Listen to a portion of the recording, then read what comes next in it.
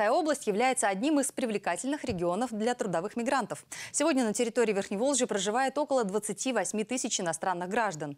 В МВД состоялась пресс-конференция, на которой рассказали о ситуации с фиктивной регистрацией мигрантов на территории региона.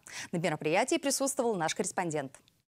В соответствии с действующим законодательством, условием пребывания иностранца на территории России является его постановка на миграционный учет. Распространенная практика, когда иностранные граждане снимают жилье вблизи своего места работы, но при этом они прописаны совсем в других местах. Там, где удалось за отдельную плату договориться с россиянами, поставить их на миграционный учет. Наши соотечественники, прельщаясь легкими деньгами, не всегда понимают опасность такого маленького бизнеса.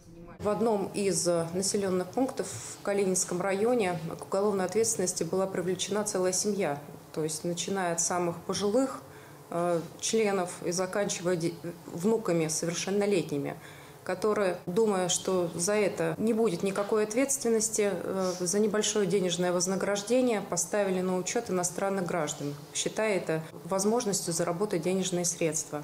В прошлом году по результатам работы ведомства было возбуждено 176 уголовных дел, а за два месяца текущего года – 34. Подобные преступления выявлены практически во всех районах области. Однако наибольшее их число зарегистрировано на территории Твери, в Конаковском, Кашинском, Бежецком и Лихославльском районах. Основная категория граждан, совершивших данное преступление – это э, безработные граждане, ведущие социальный образ жизни. Следует отметить и другую категорию граждан – которые э, недобросовестные, как говорится, посредники, э, либо фирмы подыскивают одиноких собственников, убеждают их э, в том, что необходимо поставить иностранного гражданина на учет в квартире, что за это им ничего не будет – что соседи об этом не узнают, иностранные граждане проживать в их квартире никогда не будут. В результате, когда сотрудники полиции приходят проверять зарегистрированных иностранных граждан и обнаруживают, что они по месту регистрации не проживают, а собственник жилплощади узнает, что совершил преступление. Ведомстве напоминает, что фиктивная постановка на миграционный учет иностранных граждан или лиц без гражданства